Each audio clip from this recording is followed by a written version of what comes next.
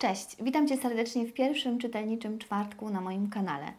Dosyć długo mnie tutaj nie było, ale jednym z moich postanowień noworocznych jest to, aby reaktywować kanał, dlatego mam nadzieję, że będziemy się widzieć e, co tydzień, jeśli tylko oczywiście zechcesz. Nazywam się Katarzyna Skolimowska, z zawodu jestem nauczycielką języka polskiego, a obecnie jestem właścicielką firmy szkoleniowej Fit Edukacja oraz autorką bloga Inspiracje dla Szkoły. Skąd taka zmiana? Zapraszam Cię do obejrzenia filmu startowego na moim kanale. Czytelniczy czwartek. E, o co chodzi? To będzie cykl recenzji, e, które polecam nauczycielom, książek, które polecam nauczycielom do rozwoju osobistego jako nauczyciela, do e, rozwoju takiego i budowania warsztatu, pracy z książkami, które są ważne dzisiaj z punktu widzenia tego, w jakim świecie, w jakiej cywilizacji żyjemy też potrzeb, jakie mają współcześni uczniowie, współcześni czytelnicy i takich książek, które warto wykorzystać e, na lekcji, które warto polecić swoim uczniom. Mamy trzeci dzień e, nowego roku 2019. Wszyscy jesteśmy jeszcze mocno zmotywowani do tego, aby realizować swoje postanowienia. Czasami mamy w założeniach ogromne zmiany. Ja już tutaj zaznaczę, że nie jestem zwolenniczką rewolucji, ale raczej tego, żeby małymi krokami dążyć do celu. I o tym też będzie książka, o której chciałabym dzisiaj powiedzieć. E, I wykorzystam właśnie tę okazję takiego e, noworocznego, takiej noworocznej mobilizacji do tego, aby opowiedzieć o książce najlepszej, jaką czytałam do tej pory, e, z zakresu takiej osobistej skuteczności. Jest to książka Ewy Jarczewskiej-Gerc, e, Rola wyobrażeń w osiąganiu celów, symulacje mentalne. Książek z zakresu rozwoju osobistego i takich motywacyjnych przeczytałam już w życiu troszkę. Obejrzałam też sporo takich filmów motywacyjnych. Myślę, że jak wielu z Was mam różne opinie na ten temat. Nie lubię krytykanstwa w tym kierunku, ale Wiem, że jeżeli ślepo w to e, zabrniemy w tym kierunku, w takiej motywacji zewnętrznej, jest to naprawdę ślepy zaułek.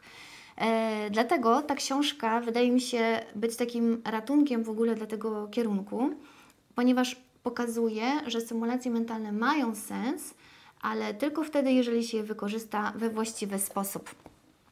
E, mianowicie, jakie wyobrażenia? Otóż rozróżniamy dwie grupy symulacji mentalnych: symulację wyniku i symulację procesu. Te wszystkie symulacje, o których e, jest tak głośno z takich ogromnych eventów motywacyjnych, to są właśnie symulacje wyniku. Czyli stań przed lustrem, mów sobie, że jesteś wspaniały, myśl o sobie dobrze, jak się obudzisz, myśl od razu, że będzie super dzień i że osiągnąłeś e, cel, o którym marzysz. E, to jest tak naprawdę strzał w kolano ponieważ skupienie się na wyniku wskazuje na to, jak my byśmy już to osiągnęli i nasz mózg przyjmuje do wiadomości taką właśnie myśl, że my już to mamy. Nie skupiamy się na działaniach, e, które mogą sprawić, że będziemy bardziej skutecznymi. Pozytywne emocje spowodowane wyobrażeniem takiego wyniku odciągają nas od celu i osiągamy tak naprawdę wynik odwrotny do zamierzonego. Skupienie się na wyniku osłabia też naszą taką percepcję dostrzegania zagrożeń i przeszkód. E, doktor Ewa Jarczewska-Gerc, która jest autorką książki, e, dokonała takich badań i to jest książka, która powstała w wyniku e, badań właśnie prowadzonych na jej uczelni, na studentach. Mianowicie swoich studentów podzieliła na dwie grupy. Jedna grupa miała skupić się na tym, żeby myśleć o nas zbliżającej się sesji w takim pryzmacie tego, że wszystko będzie dobrze, na pewno wspaniałe wyniki, wyniki będą wpisane do indeksów e, i z taką myślą po prostu no, się uczyć, skupiając się na finiszu.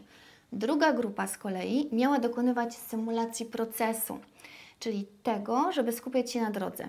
Mieli za każdym razem, kiedy myśleli o tym, co ich czeka i mm, w perspektywie myślenia o celu, musieli myśleć o tym, że skoro chcą mieć dobre wpisy do indeksu, muszą się napracować, czyli muszą iść do biblioteki, dosłownie taki proces sobie musieli wyobrażać dokładnie, że wyszukują w katalogu książek, później te książki tachają ze sobą do domu, siedzą nad tym wieczorami, gdy inni balują, imprezują. E, musieli sobie obliczyć koszty, przeżyć wewnętrznie poczucie straty i przyzwyczaić się do tego, przygotować na to swój umysł, że takie, takie właśnie coś się wydarzy.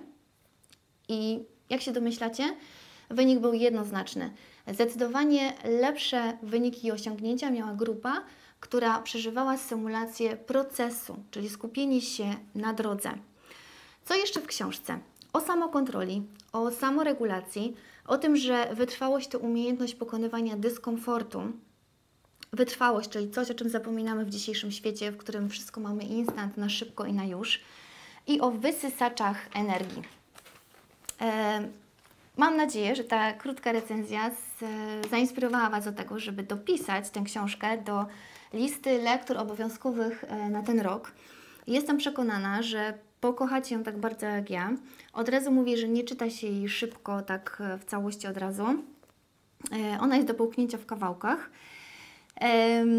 Mam nadzieję, że każdy nauczyciel i każdy rodzic po nią sięgnie, bo e, jeżeli chociaż w pigułce przekażemy to naszym podopiecznym, co tutaj jest zawarte, to tak naprawdę przybliżamy naszych uczniów czy nasze dzieci do sukcesu o kilka kroków milowych. To jest ogrom pracy wykonanej tutaj na kartach tej książki, które dają niesamowite mm, narzędzia do tego, żeby naprawdę skutecznie cele osiągać.